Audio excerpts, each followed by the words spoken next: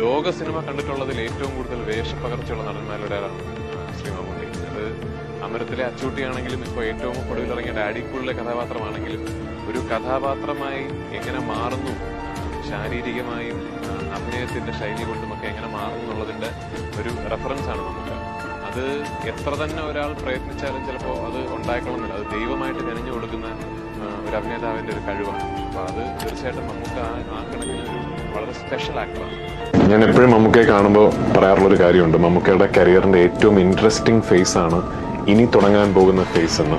അപ്പോഴൊക്കെ മമ്മൂക്ക ഒരു തമാശ വലുത് ചിരിച്ച് കളയും. പക്ഷെ ഐ ട്രൂലി ബിലീവ് മമ്മൂക്ക എന്ന ഞാൻ പരിചയപ്പെട്ടിട്ടുള്ള ഏറ്റവും കോൺസ്യൂമേറ്റ് ആർട്ടിസ്റ്റിന്റെ ഏറ്റവും ഇൻട്രസ്റ്റിംഗ് ഫേസ് ഓഫ് ദ കരിയറാണ് ഇനി തുടങ്ങാൻ പോകുന്നത്